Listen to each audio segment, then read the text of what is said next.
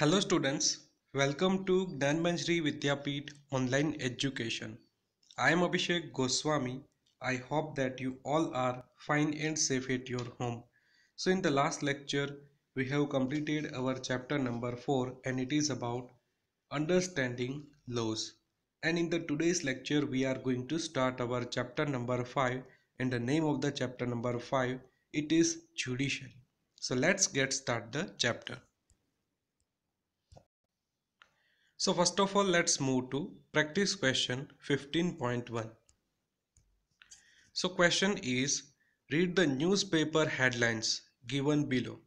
Identify which of the following functions of the judiciary are being referred to the in each of them and write it down in the space provided. So read the newspaper headlines given below. यहाँ पर जो newspaper headlines दी गई है, इसको हमें read करना है। And identify which of the following functions of the judiciary are being referred to in each of them और ये सभी जो हेडलाइंस है, इसमें जुडिशरी का कौन सा फ़ंक्शन देखने को मिल रहा है, इसको हमें आइडेंटिफाई करना होगा। So first of all first sentence it is supreme court does a balancing act in its verdict on the Kaveri water dispute between Karnataka and Tamil Nadu. So, the work of Supreme Court here it is dispute resolution. Because यहाँ पर हम देख सकते हैं कि Kaveri water dispute है between two different states Karnataka and Tamil Nadu and supreme court का work क्या है supreme court does a balancing act इसने एक बैलेंसिंग एक्ट बनाया है एंड इससे ये डिस्प्यूट सॉल्व हो जाएगा सो यहाँ पर सुप्रीम कोर्ट का वर्क होगा dispute resolution second point supreme court upholds the right to education act stating that it is constitutionally valid and help us in enforcing children's right to free and compulsory education so यहाँ पर work होगा supreme court का upholding the law and enforcing the fundamental rights so supreme court ने क्या करा है कि right to education act को अप होल्ड किया है, उसको सपोर्ट किया है, और उसको बताया है कि it is constitutionally valid and helps in the enforcing children's right to free and compulsory education so यहाँ पर सुप्रीम कोर्ट अप होल्ड करने का भी काम कर रही है and enforcing the fundamental rights fundamental right को एनफोर्स करने का भी काम करेगी। Third sentence, supreme court strikes down section 66 A of the information technology act, stating that it invades citizen right to free speech. So, यहाँ पर supreme court का work होगा जुडिशल रिव्यू क्योंकि सुप्रीम कोर्ट ऐसा कह रहा है कि जो सेक्शन 66 ए है, इसमें जो एक्ट है, ये एक्ट बताता है कि it invades citizens right to free speech यहाँ पर सुप्रीम कोर्ट अपना रिव्यू दे रही है कि इससे सिटीजन की राइट टू स्पीच को प्रॉब्लम होगी। It is threat for the citizens right to speech तो यहाँ पर सुप्रीम कोर्ट का वर्क है एज अ जुडिशियल रिव्यू देना। Fourth point Shafin Jahan appeals to supreme court challenging Kerala High Court's verdict in his case against K.M. Ashokan. So यहाँ पर भी again dispute resolution होगा, क्योंकि कोई भी अपील हाई कोर्ट में चैलेंज की जाती है हाई कोर्ट का कोई भी मामला सुप्रीम कोर्ट में शिफ्ट होता है तो मीन्स ये डिस्प्यूट रिजोल्यूशन का काम करेगी fifth point Tehseen Poonawalla V S union of India supreme court condemns mob lynching and asks parliament to bring special laws to prevent such acts. तो यहाँ पर भी एक केस है कि Tehseen Poonawalla V S union of India supreme court तो यहाँ पर सुप्रीम कोर्ट का काम क्या होगा कि ये कंडेम करेगी मॉब लिंचिंग को। Mob lynching means crowd group में जाके किसी एक पर्सन को मारना। एंड ये पार्लियामेंट को भी बता रही है कि आप इसके लिए स्पेशल लॉ बनाई है। So it is dispute resolution यहाँ पर सुप्रीम कोर्ट का वर्क है as a dispute resolution six point special status given to Delhi under article two thirty nine A of the constitution by supreme court in the government of Delhi national capital territory V S union of India case तो यहाँ पर भी dispute resolution होगा, क्योंकि ये एक dispute को solve करने का काम करेगी Then let's move to concept time 12 and it is independent judiciary. As we have studied in chapter number 1, there is a separation of powers among the three organs of the state. There will be minimum or no interference of one organ in the functioning of the others in order to ensure that each organ functions independently. The meaning of meaning and need of an independent judiciary is explained below. So so, हमने chapter number first में study किया था separation of powers के बारे में कि state में जो तीन ऑर्गन है like legislature executive and judiciary ये तीनों के बीच में सेपरेशन ऑफ़ पावर्स मीन्स उसके पावर को सेपरेट किया गया है देर विल बी मिनिमम और no interference of one organ in functioning of the others in order to ensure that each organ functions independently. Means, कोई एक ग्रुप का, कोई एक ऑर्गन का दूसरे ऑर्गन के ऊपर इंटरफियंस नहीं होगा। No interference of one organ in functioning of others जैसे कि लेजिस्लेचर एग्जीक्यूटिव में इंटरफियंस नहीं करेगा एग्जीक्यूटिव जुडिशरी में इंटरफियंस नहीं करेगा और जुडिशरी किसी के ऊपर इंटरफियंस नहीं करेगा। So first point political leader such as the prime minister और a member of parliament can not remove or appoint a judge.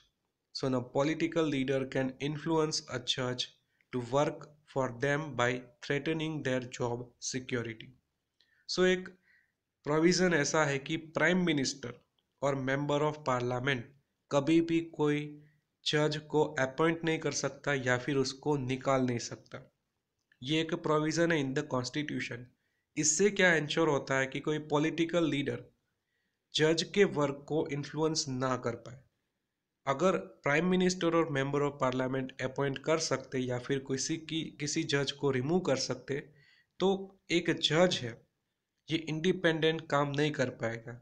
ये डिपेंडेंट होगा on the prime minister and member of parliament second point if the judiciary is independent it can act impartially impartially whenever there is misuse of power by the legislature or the executive अगर कोई judiciary independent है तो ये impartially सभी के साथ work करेगा यहाँ पर कोई मिसयूज पावर का नहीं होगा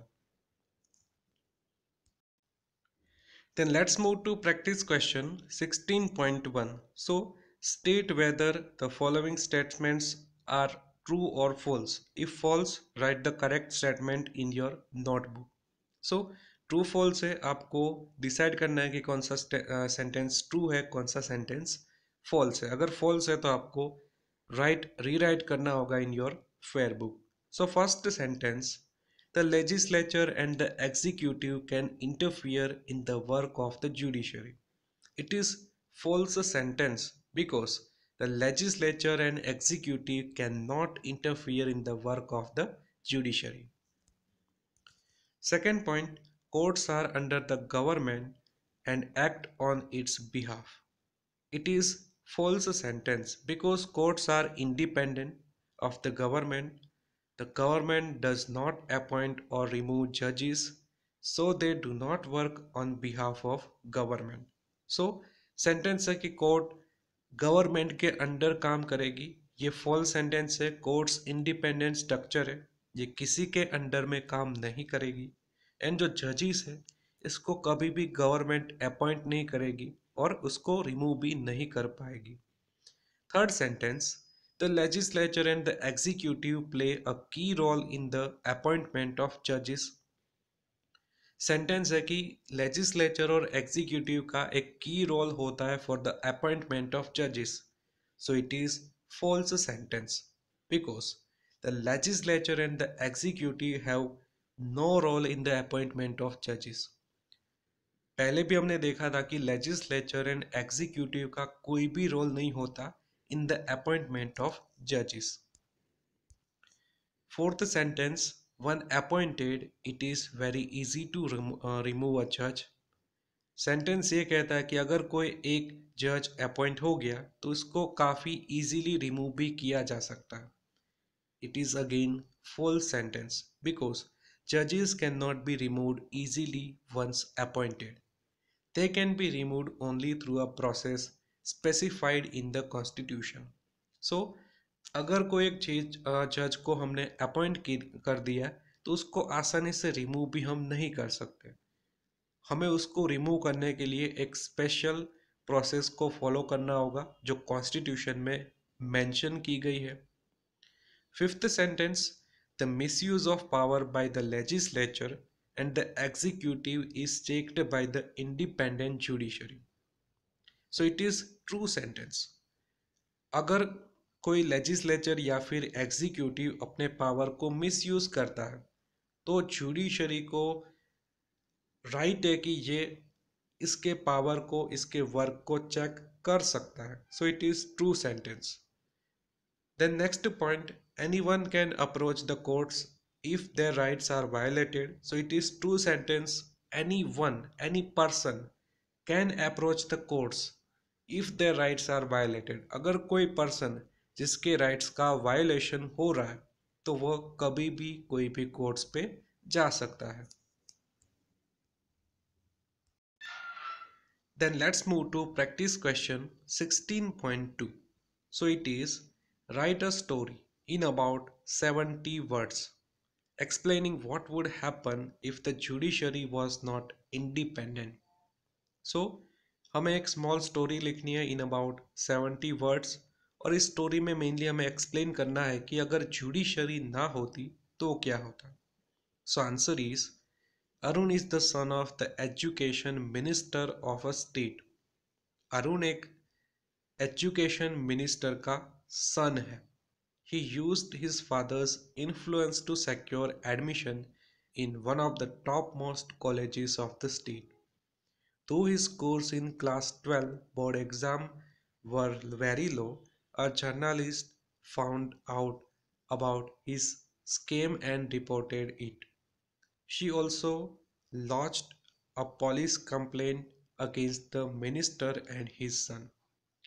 Education minister का बेटा अरुण जो अपने फादर के इन्फ्लुएंस के कारण कोई एक स्टेट एज की टॉप मोस्ट कॉलेजेस पे उसको एडमिशन मिलता है उसने क्लास ट्वेल्व की बोर्ड एग्ज़ाम में काफ़ी कम मार्क्स गेट किए थे उसके बावजूद भी उसको टॉप मोस्ट कॉलेज में एडमिशन मिलता है तो एक जर्नलिस्ट है इसने एक स्कैम को इस स्कैम को रिपोर्ट किया इन द न्यूज़पेपर एंड उसने पुलिस को भी कंप्लेन की कि भी ये एक गलत काम है a police arrested both of them and the case was taken up by the district court.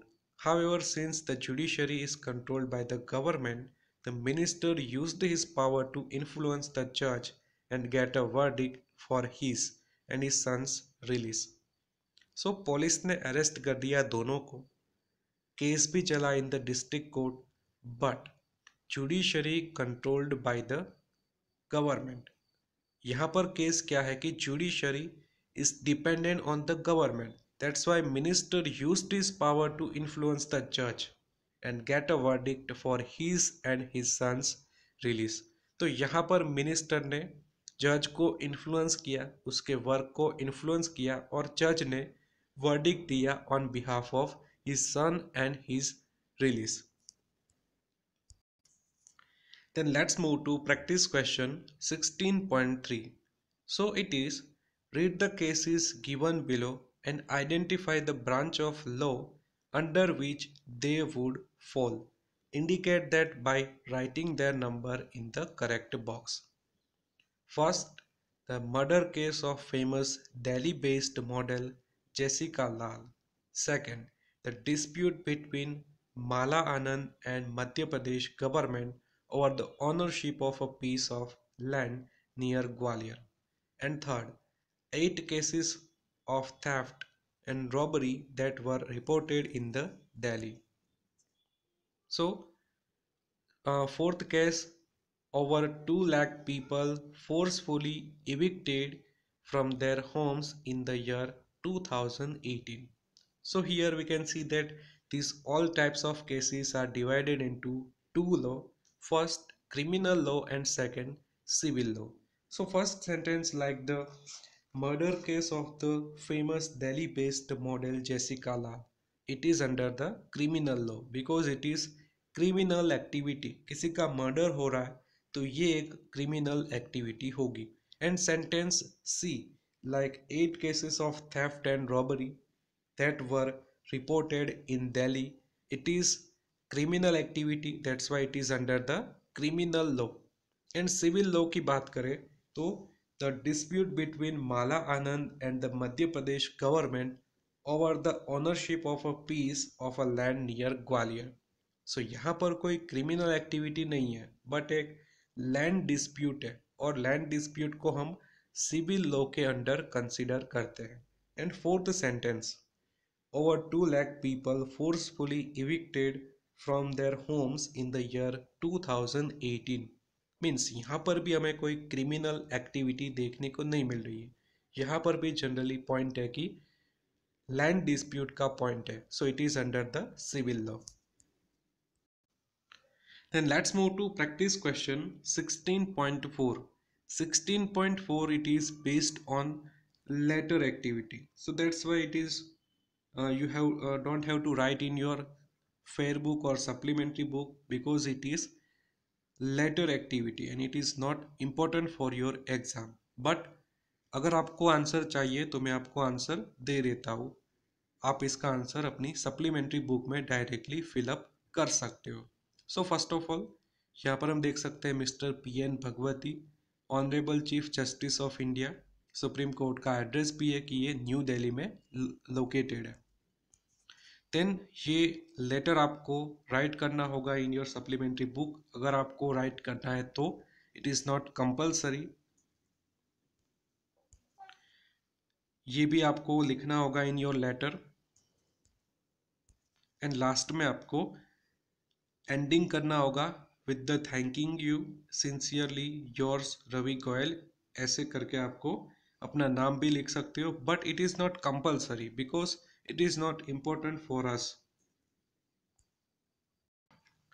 so this is about our two days lecture in this lecture we have started our chapter number five judiciary I hope you understood very well about all the points from chapter number 5 and if you have any doubts regarding this topic, you can ask me anytime. So now this is end of the video. In the next video, we will move further in the chapter number 5 so have a nice day and thank you for watching this video.